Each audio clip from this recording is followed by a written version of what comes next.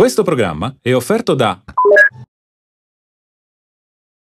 Oh mamma, voglio l'uovo alla coppia e cantare rock and roll. Sono pazzo come rock, sono pazzo come rock. Sono pazzo, pazzo, pazzo, pazzo, pazzo, pazzo, pazzo come rock.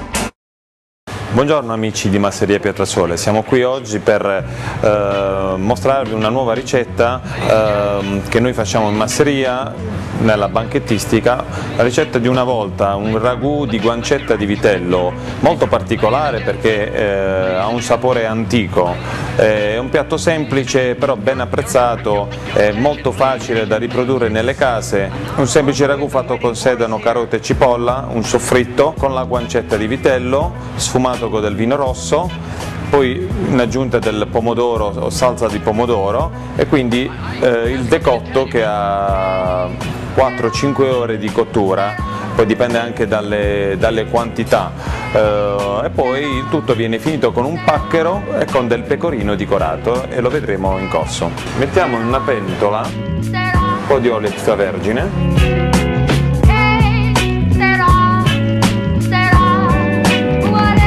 del trito di sedano, carote e cipolla.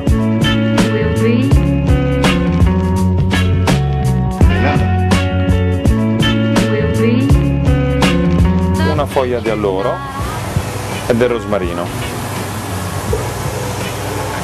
Poi gli aggiungiamo la guancetta di vitello, facciamo soffriggere per bene.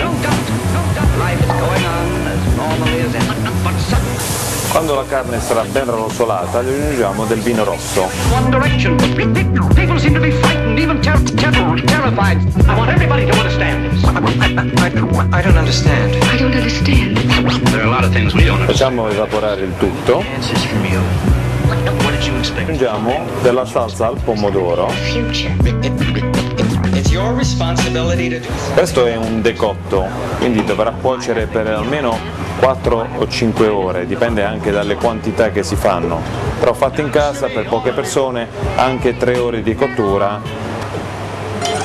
sono più che sufficienti, però avremo un ragù come quello di una volta, perché il gusto della guancetta di vitello è molto molto particolare, molto buono. Adesso caliamo il nostro pacchero in acqua salata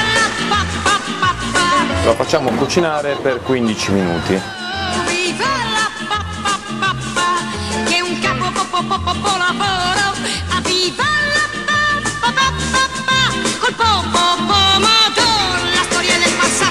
Scoliamo il nostro pacchero e lo immergiamo nel nostro ragù. Ovviamente in aggiunta di un po' di sale e pepe all'occorrenza, lo mantechiamo,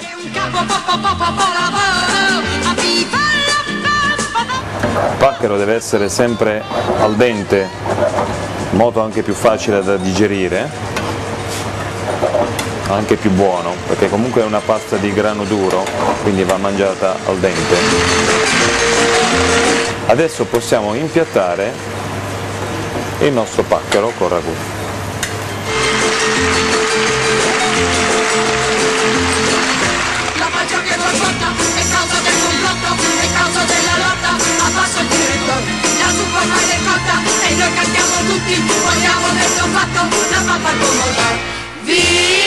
Ci mettiamo delle scagliette di pecorino DOP decorato e per finire anche un suo tocchettino.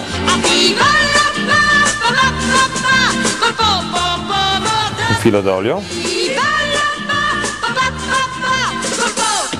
E il piatto è pronto. Questo programma è stato offerto da